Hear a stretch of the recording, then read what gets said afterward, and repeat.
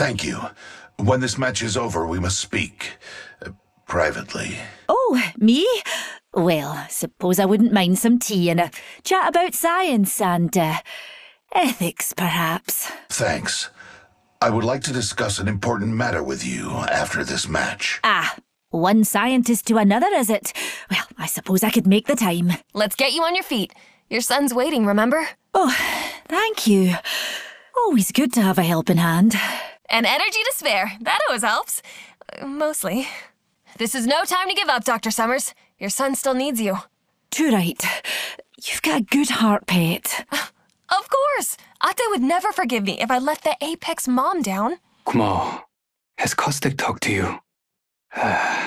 we have a favor to ask. Ah, everybody wants a bit of Mary these days, but happy to help, dear. Thank you. And there's something else I need to ask you.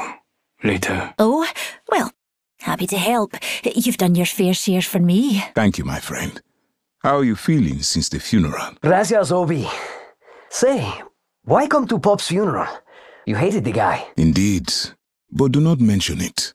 Though we differ, hearts shatter all the same. Oh, yeah, I feel good. Yeah, yeah, good. Good enough to carry you to a win, anyway. I am grateful. In the wake of the wake, are you taking care of yourself? Thanks. Yo, you hated Pops, too. Why show up at the funeral? Even a loveless parent's death is a burden best carried with a friend. Ah, don't worry about me, Obi-Man. The games keep me moving, you know?